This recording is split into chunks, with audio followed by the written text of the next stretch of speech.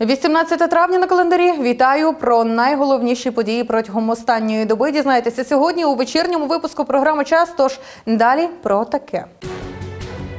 Платні пільгові перевезення, вирішення проблеми, адресна дезорієнтація, заміна назв вулиць, проблема з відходами, куди подіти сміття, весняний призов, відправка захисників вітчизни, капітальний благоустрій, нове обличчя школи. Сьогодні, 18 травня, в Україні вшановують День пам'яті жертв геноциду кримсько-татарського народу. Пам'ять про злочинну акцію, сплановану керівною верхівкою колишнього СРСР і здійснену радянськими каральними органами 1944 року, які призвели до масових людських жертв і завдали непоправної шкоди кримсько-татарському народу. Під час депортації кримських татар за офіційними даними загинуло біля 8 тисяч людей, більшість з яких діти і старші люди. За неофіційними даними це число сягає ледь не 100 тисяч. Найбільш поширеними причинами смерті були спрага і тиф. В Ужгороді стріляли поранено громадського активіста Євгена Рахівмова. Як зазначив він сам, цитую на мене та Богословського напав Волошин. Як стверджують очевидці, постріли було чути із-за тимчасової огорожі готелю Корона. За їх свідченнями, із будівлі готелю вийшов чоловік із простріленою ногою, у якому впізнали Рахімова. Поранений присів на лавицю, після чого за ним вийшли двоє озброєних чоловіків.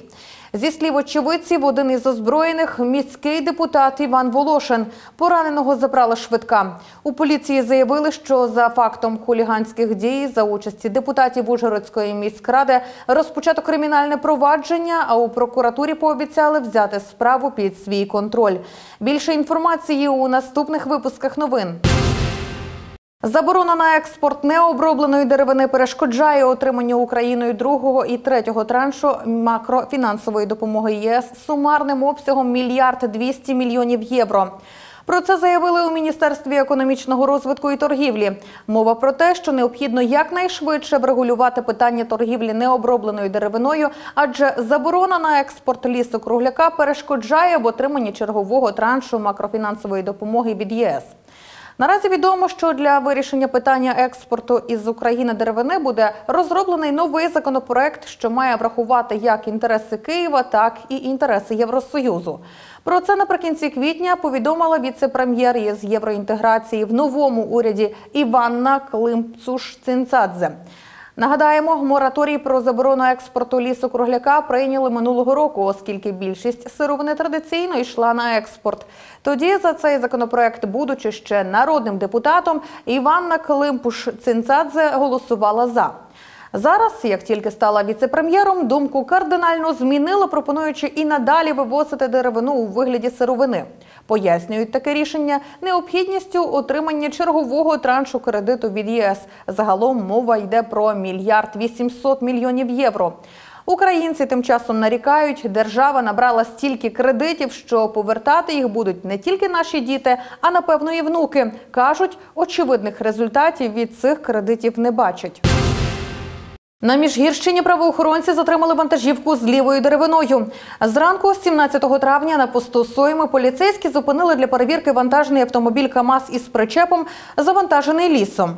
55-річний водій, житель селища Міжгір'я, пред'явив документи на 37 кубометрів хвойної деревини. Однак під час перевірки правоохоронці з'ясували, що надана водієм накладна вже використовувалася. На її підставі інший водій на вантажівці Рено вже перевозив на початку травня аналогічну партію деревини. Інформує відділ комунікації головного управління національної поліції у Закарпатській області. Автомобіль КАМАЗ із деревиною затримали для з'ясування обставин справ. Губернатор Закарпатської області Геннадій Москаль більше не вважає, що депутат ради від групи Віталій Хомутиннік причетний до незаконних кадрових змін на закарпатських митницях. Про це йдеться у повідомленні на сайті Москаля. Ще нещодавно голова Закарпатської обласної адміністрації звинуватив і партію відродження, і нардепа Хомутинніка у такому впливі. Зараз пан Москаль передумав, каже, що його інформація виявилася неперевіреною, тож вибачається і перед Хомутинніком, і перед партією відродження. Ось така кардинальна зміна вектору та думки заради співпраці із відродженням. Черговий раз в обласному центрі обговорювали проблему пільгового перевезення. Як відомо, коштів на відшкодування безкоштовного проїзду у бюджеті немає, адже державна скарбниця на 2016 рік не передбачила такі витрати. Через це з одного боку страждають пільговики, яким доволі часто водії відмовляють у безоплатному перевезенні. З іншого водії, які за свій рахунок наразі повинні покривати збитки. Як вирішувалися питання та до якого висновку дійшли перевізники разом із представниками обласної адміністрації? Дивіться далі. Наболіло питання, яке вже давно не дає спокою ні пільговикам, ні пасажирам, ані водіям, вкотре обговорюють за столом переговорів. Ситуація склалася таким чином, що мало того, що коштів немає на цей рік покрити пільгове перевезення, але ще й рахується борг за минулий понад 4 мільйони гривень. Один із перевізників розповідає, що перевозять пільговиків частково, але за власні кошти. Ми зараз частково перевозимо пільговиків на приміських, міжміських, шість категорій, просто за власні кошти. Значить, нам е, і Ужгородська районна адміністрація, і інші е, так пообіцяли, що сільські ради приймуть рішення відповідно своїми місцевими бюджетами будуть частково компенсовувати. Зараз цього не зроблено.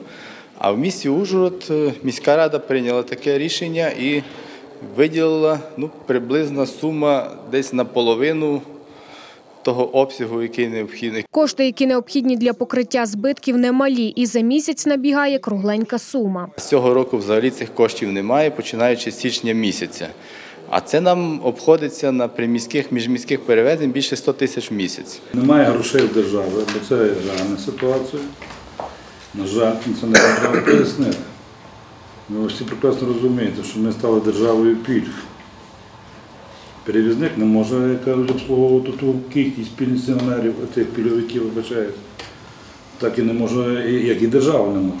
Поза як така ситуація не лише на Закарпатті, то у разі невирішення проблеми пільгове перевезення водії можуть припинити повністю на всій території України. прекратить по всей Украине полностью пільгове перевезення. И никакие суды никто не поможет. Потому что ни один перевозчик фактически не имеет ни договора, ничего. Понимаете, в чем дело? Это может быть огромнейший социальный взрыв. Вот это я такую информацию имею. Мы должны решать вопрос, начинать решать здесь. Тем более положено сегодня на органы місцевого самоврядування. Люди добрые, это не, это не игрушки уже. У ході зустрічі перевізники разом із обласною адміністрацією вирішили за три дні мають бути створені робочі групи, які мають проаналізувати місцеві бюджети. До того ж, автостанція зобов'язується надати об'єктивні відомості щодо кількості і перевезення пільговиків за чотири місяці 2015-2016 років. Місцеві органи самоврядування у свою чергу мають передбачити виділення коштів на перевезення пільговиків із місцевих бюджетів. У Мукачеві стартував бізнес-форум. Триватиме він три дні. Бізнес-форум це перш за все розмови із потенційними інвесторами.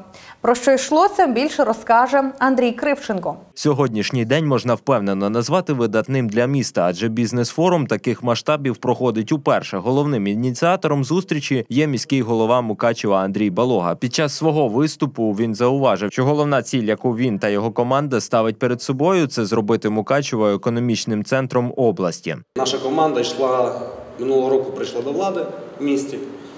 Е, Ми ставили, ставимо перед собою амбітну ціль. Зробити місто номер один не тільки в Закарпатській області, а можливо навіть і в західному регіоні. Як по туристичному напрямку, по інвестиційному напрямку, економічному та інших. Для цього є всі передумови, а також є бачення, як ми хочемо до цього рухатися. А рухатися планують у трьох напрямках. Це є заявка на те, що Мукачево має відкриває свої двері. Ми відкриті до інвестицій, до економічного росту для того, щоб працювати як з місцевими інвесторами, так і з іноземними інвесторами. Для того, щоб розвивати Мукачево не сьогодні, а й завтра, а й післязавтра. На форумі представили план розвитку та забудови території колишнього аеродрому в Мукачеві. План забудови території з площею понад 330 гектарів має три варіанти, один з яких передбачає будівництво торгівельного, розважального та спортивного комплексу, а також індустріального парку. Коли нам запропонували розглянути потенціал міста Мукачева і його прилеглі території, я вперше за свою практику стикнувся з такою територією, що вона є з точки зору інженерії настільки приваблива і настільки готова, що вона може складати дуже серйозну конкуренцію для багатьох територій в Україні, які сьогодні на ринку будуть змагатися за відкриття індустріальних парків. Ми повинні зрозуміти, що хто в Україні відкриє перші індустріальні парки, там і швидше будуть іти їх наповнення. На думку експерта, такий проект має зацікавити інвесторів, адже крім великої території, на колишньому військовому аеродромі збереглася система водовідведення та складські приміщення. Єдиною перепоною, за словами Ігоря Кузьмука, у створенні індустріальних парків є відсутність відповідних регулюючих законів в Україні. Сама підготовка індустріальних парків в Україні є зараз на такому рівні, що вони знаходяться на прийнятті рішень Кабінету міністрів. Тому сказати, що сьогодні в Україні хтось вже так широко розгорнув індустріальні парки, ми можемо мати якийсь цей приклад, немає. Тому я кажу, що сьогодні це дуже хороший потенціал для міста Мукачево скористатися тим моментом. Бо найближчим часом, якщо запустять всі індустріальні парки в Україні, які очікують своєї юридично-правової черги, то конкуренція буде достатньо висока. Керівники підприємств вбачають у місті великий потенціал для розвитку. Попереду два дні спілкування. Думаю, надзвичайно буде корисно і нам, і нашим партнерам. Ми, як я як представник банківського сектору, теж ми дуже зацікавлені е, в тих програмах, які сьогодні були озвучені. Сподіваємось на позитив і прогрес на напрямку. Дуже цікавий форум. Дуже приємно, що місто робить якісь плани на майбутнє. З нашої сторони ми привезли деякі зразки продукції. Надіємося, що співпраця буде на високому рівні. Бізнес-форум триватиме ще два дні. У програмі передбачені візити до найбільших підприємств Мукачева та презентації з пропозиціями закордонних партнерів.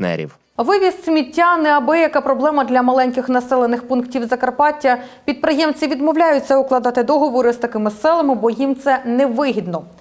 Як наслідок, люди самі шукають способи позбутися відходів. Одні громадяни вивозять їх на санкціоновані сміттєзвалища, інші викидають будь-де.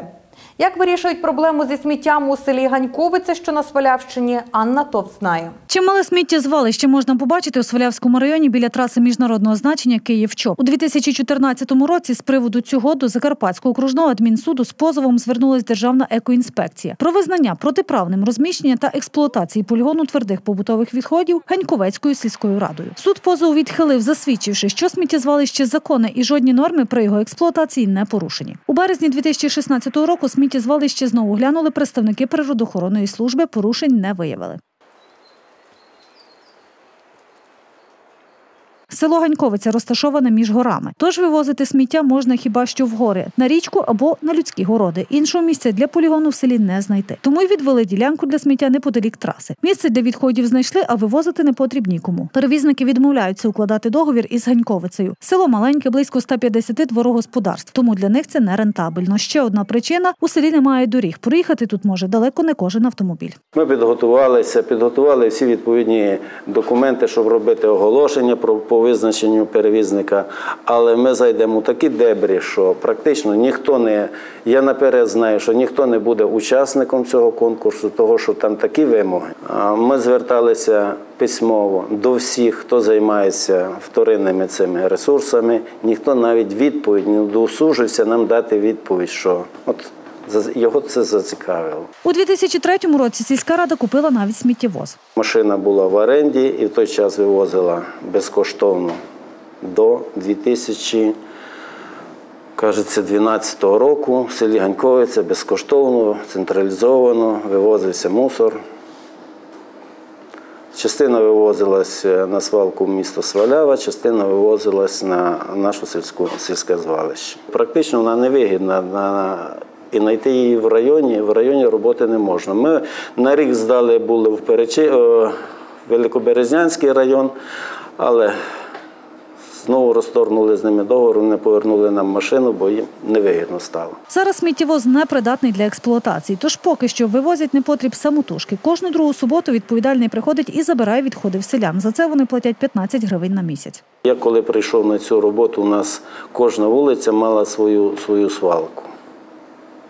На сільському жаргоні то називалося галаман. Куди Було багато свалок. було багато. Зараз, слава Богу, практично того вже нема. Через е, територію села 12 кілометрів автомагістралі Київ-Чоп, по якій де захотіли, там викинули сміття. І якщо ми своїми силами не вивозимо, то автомобільні дороги, обов'язок яких це входить, практично тим не займаються. Сміттєзвалище згодом хочуть облагородити на вході поставити ворота. Місцеві кажуть, можливо, смітник неподалік траси, де їздить чимало туристів і не справляє гарного враження. Однак це краще, аніж відходи повсюди, в річці на полях. Хоча й тих, хто не задумуючись, викидає непотріб, будь-де, на жаль, вистачає. Одна з найбільших шкіл району незабаром стане однією з кращих. Кардинальні зміни з благоустрою та облаштування освітнього закладу у великих ком'ятах, що на Виноградівщині, розпочали ще кілька років тому, коли обласна рада минулого скликання виділила кошти на заплановані роботи. Допомагає облаштувати шкільний майданчик і народний депутат Іван Балога. Хоч роботи попереду ще вдосталь, зовнішній вигляд школи гордість для невеликого села, адже зараз заклад не впізнати, кажуть місцеві. До слова, теперішня заступник голови райдержадміністрації Наталія Костелеба Беремчук і є колишньою сільською головою великих ком'ят, свого часу відмовилась допомагати в облаштуванні школи. Так само за попередній рік ні районна, ні обласна рада коштів на цей навчальний заклад не виділила. Таким шкільне подвір'я було ще два роки тому. Той перший дзвінок вже 2014 року був останнім, який, так би мовити, проводили на ґрунтовому покритті подвір'я. І от після звернень до обласної ради попереднього скликання та безпосередньо до її очільника Івана Бологи покращити становище освітнього закладу, результат не забарився. Кошти були негайно знайдені та перераховані згідно кошторисної документації на благоустрій шкільного подвір'я. А це і озеленення з висіванням газону, брукування підходів до школи та внутрішнього двору, встановлення нового паркану і облагородження навколишньої території. На цьому роботу не припинили. Наразі триває облаштування ще одного майданчика. Роботи по благоустрою школи активно ведуться вже декілька місяців. Ну і підходять до завершення. Це фінансування йде народного депутата Івана Івановича Балого. Він особисто допомагає, контролює цей процес. Приходить часто, планують, вирішують, щоб краще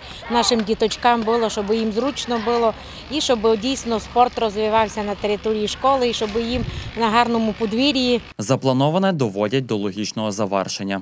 Ми ходили до школи, наші діти ходили. Ми з хлопцями посвітувалися і вирішили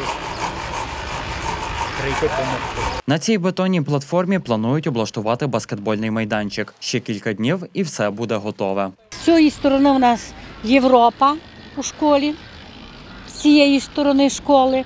Ну, там у нас поки що Радянський Союз. В процентному відношенні я повинна сказати десь ну, 90% виконані роботи, але ще багато прийдеться зробити. Віднайшли кошти в області двома роками раніше і на будівництво футбольного поля зі штучним покриттям. Загалом на нього витратили 800 тисяч гривень. Наша школа була включена до обласної програми Спортивний майданчик.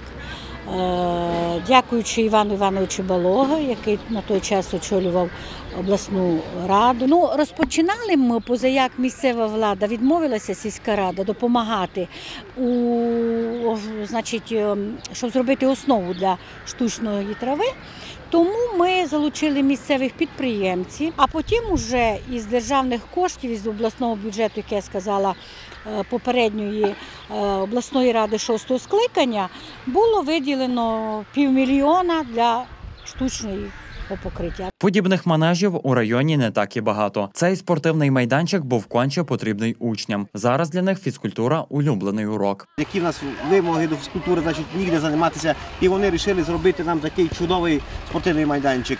Це майданчик е, дуже красивий, дуже удобний. Дітям дуже, дуже до вподоби. На ньому просто чудо займатися. На цьому облаштовувати освітній заклад керівництво школи не припинить. У майбутньому планують закрити питання з двозмінним навчанням, збудувавши мансардний ярус, де можна розташувати кілька додаткових класів. Проте це, як запевняє директор, питання часу і коштів, які без меценатів навряд чи чи вдасться знайти. Адже теперішня влада ні районна, ні обласна навіть палець об палець не вдарила та не виділила жодної копійки ні з районного, ні з обласного бюджету, аби допомогти в облаштуванні школи у великих ком'ятах. У Квасах підняли проблему продовження будівництва нової школи. Народний депутат Василь Петьовка звернувся до віце-прем'єр-міністра регіонального розвитку Геннадія Зубка, аби в уряді вирішили це питання. У загальноосвітній школі села Кваси, що на Рахівщині, навчається 360 учнів. І найближчим часом тут очікують, що кількість школярів збільшиться. Проте навчаються діти у далеко не найкращих умовах. За класи їм слугують вісім пристосованих приміщень, які до того ж у критичному стані та не відповідають жодним санітарно-гігієнічним вимогам. Для повноцінного навчання у безпечних і комфортних умовах учням вкрай потрібен новий навчальний заклад. Питання будівництва нової школи у Квасах піднімається вже багато років. Так, за цінами ще 2012 року визначили, що для спорудження нової ЗОШ на 500 учнів потрібно 25 мільйонів 851 тисячу 429 гривень. Два роки тому з обласного бюджету для початку будівництва школи виділили мільйон гривень. За ці кошти розпочали спорудження будівлі та залили фундамент центрального корпусу.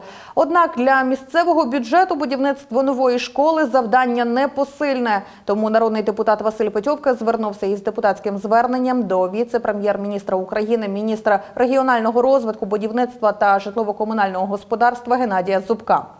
У своєму зверненні народний депутат просить розглянути питання щодо продовження фінансування будівництва нової школи у селі Кваси за рахунок виділення коштів із державного бюджету.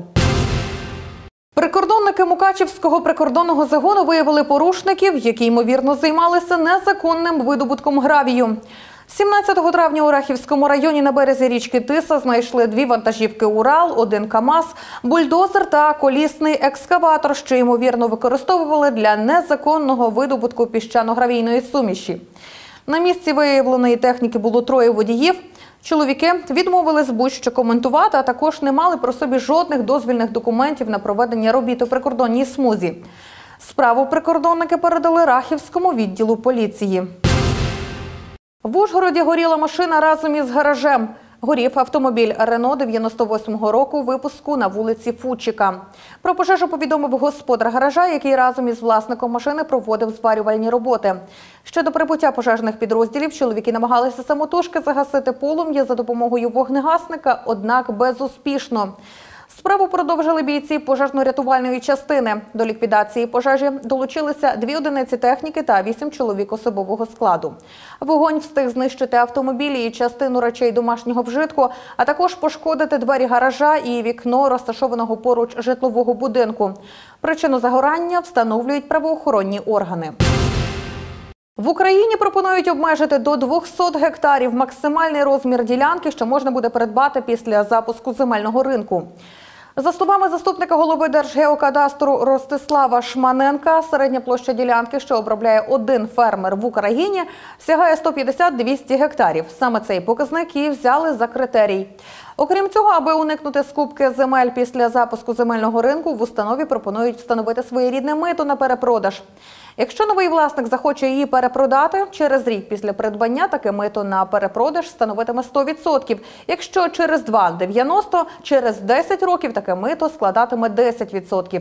Такі ініціативи вже передали на розгляд Мінрегіонбуду та віце-прем'єр-міністру Геннадію Зубку.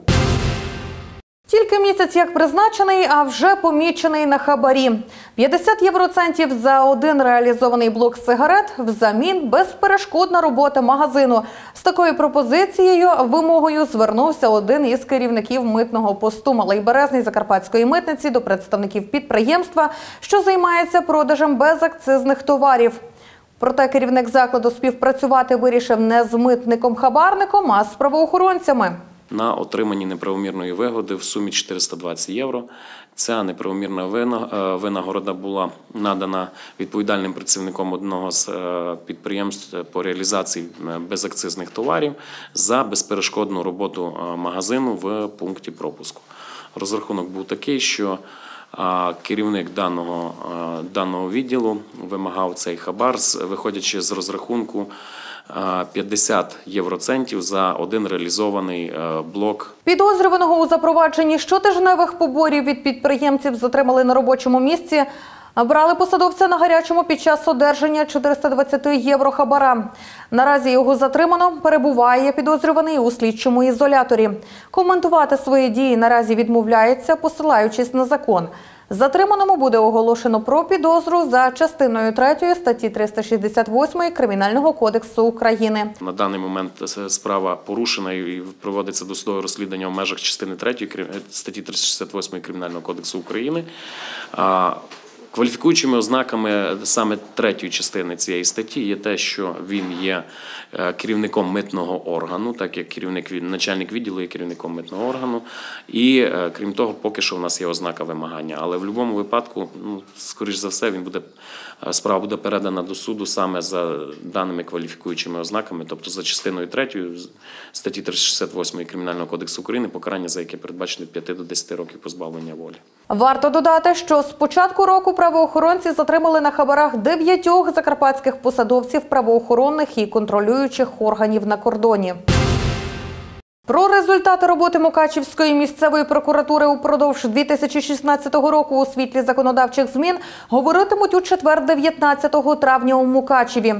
На брифінгу, який проведе Олександр Братюк, керівник Мукачівської місцевої прокуратури, говоритимуть про зміни у діяльності органів прокуратури, про звернення та скарги громадян, порушені справи, рівень злочинності, ряд заходів, спрямованих на захист інтересів громадян. Це перший брифінг у Мукачівській місцевій прокуратурі після реформування.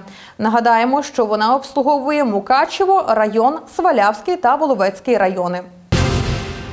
На Закарпатті активно декомунізовують назви вулиць. Однак люди, які там проживають, часто важко сприймають нові найменування.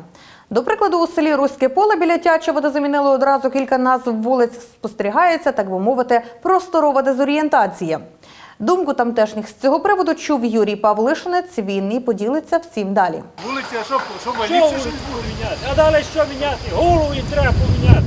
Всі заводи фабрики розбили. Наші пошуки конкретної адреси в селі без допомоги місцевого люди зайшли б у глухий кут. Проте чоловіки, в яких ми дізнавалися дорогу, не одразу давали остаточну відповідь. Вони активно перебирали варіанти, дискутували між собою та губилися в здогадах. Я, наприклад, на цій вулиці вирус, я привик, що вона Лазівська. Мені, мене запитає, де Лазівська вулиця, я знаю де. А тепер пере, переіменували в селі, де така вулиця. А я й не знаю, що її переіменували. Взагалі, я не знаю, я не в курсах. Зміна назви вулиць не новинка для тамтешніх. Тотальне перейменування тут розпочали ще у 2008 році з найбільш одіозних діячів минулої епохи.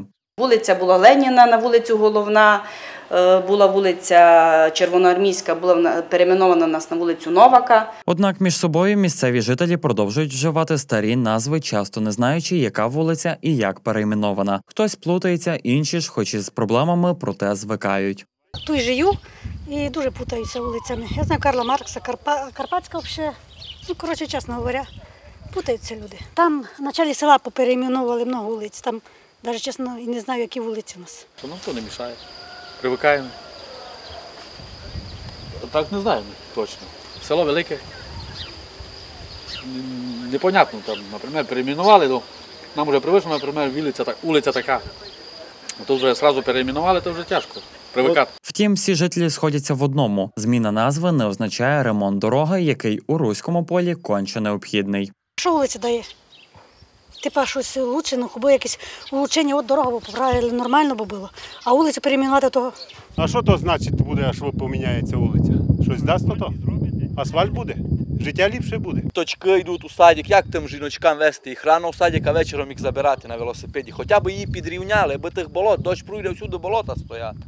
Та хоча б не, не буде вона ґрунтова, не буде асфальт, а рівна. Хоч стан дороги і бажає бути кращим, староста села переконує, цього року візьмуться за найдовші вулиці, адже кошти після об'єднання з Тячевом знайшли і їх планово використовуватимуть на негайне покращення інфраструктури, як от капітальне асфальтування центрального шляху. Після е, нашого об'єднання ви бачили самі вулицю на вулицю Травневу. Це зараз зроблена ця вулиця у нас. Запланована ще в цьому році вулиця Карпатська. Це теж півтора кілометра буде. Зараз, так як ми є в об'єднаній громаді, в нас є вулиця Травнева, зробили її е, тверде покриття повністю. На це поступили кошти. А бічні вулиці, а бічні вулиці е, завозили нас, де є не тверде. Завозили ми гравієм. У селі питання перейменування вулиць ще не закрила. Попереду кілька совкових назв чекають своєї черги. Та чи обговорюватимуть нові варіанти з громадою і чи звикнуть до них місцеві зовсім інша історія. У Хусті запровадили нову систему руху. Згідно з новою схемою, рух центральних і прилеглих вулиць міста буде одностороннім. На вулицях Курятовича, Карпатської Січі, 900-річчя Хуста, Степана Папа, Конституції та Свободи. Варто додати, що реалізація проекту залежить і від контролю служби ДАІ за дотриманням правил дорожнього руху. Тож містянам та гостям хуста відтепер важливо не ігнорувати нові дорожні знаки. Схему руху ви бачите на екрані.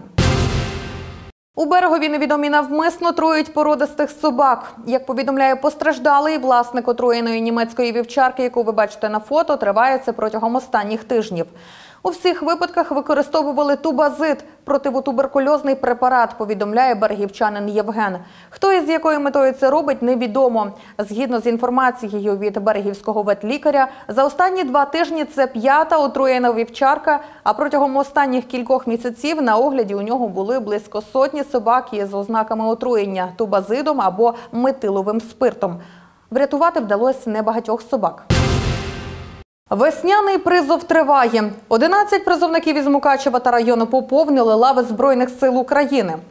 Чергова відправка майбутніх захисників вітчизни пройшла урочисто у Мукачівському об'єднаному військовому комісаріаті у вівторок, 17 травня.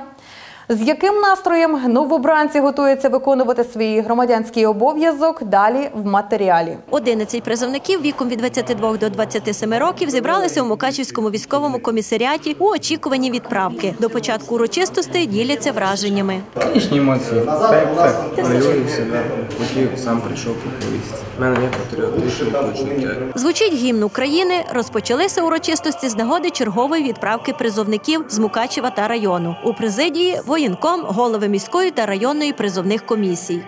відслужити, виконати свій обов'язок, пам'ятати про те, що вас вдома ждуть батьки, рідні, і раді будемо вас побачити, коли закінчиться ваша служба. Удачі! Найбільш болюче питання для призовників та їх рідних, куди попадуть після розподілу. Призиваються е, згідно указу президента до лав Збройних сил України, прикордонників і Національної гвардії. Вони зараз попрямують до міста Ужгорода, де ще буде е, з ними проведена певна робота по е, перевірці їхніх моральних ділових якостей і їхнього здоров'я. Після цього буде винесено рішення призивної обласної комісії до призиву їх до певних формувань. В АТО ніхто зі строковиків не йде. Це е, і згідно указу президента, згідно усіх законів, керівних документів. Весняний призов триває. Військомат продовжує роботу з відбору, і вже незабаром відбудеться чергова відправка призовників на службу вітчизні. І наостанок нагадаємо, що телеканал М-студіо та радіо Закарпаття ФМ відкрили телефон довіри.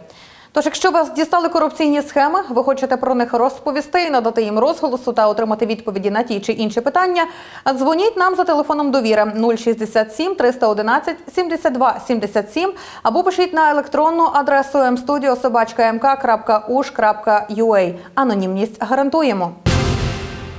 На цьому у нас все. Дякую вам за увагу. Будьте інформованими і не перемикайтесь. На все добре.